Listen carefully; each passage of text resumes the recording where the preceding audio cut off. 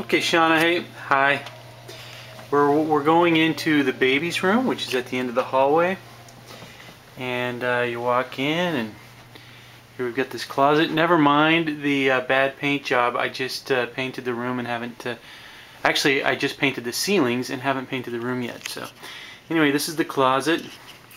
We're going to put in uh, a couple of shelves where you see those pieces of wood and then that uh, that hanger thing will go down below the bottom shelf.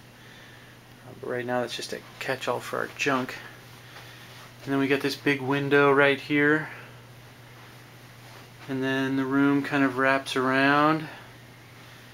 And uh, we've got these two sets of shelves.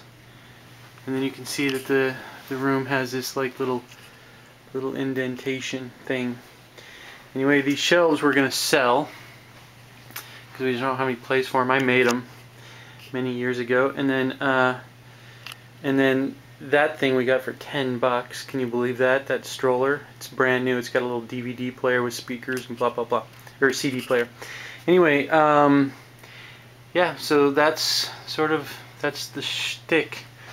Um, this is the very last bedroom across the hallway from our bedroom. You see all the door trim gone because I'm too lazy to put it up. And uh, this is the hallway down into the dining room where my lovely wife is now. Hi, Shauna. She's eating.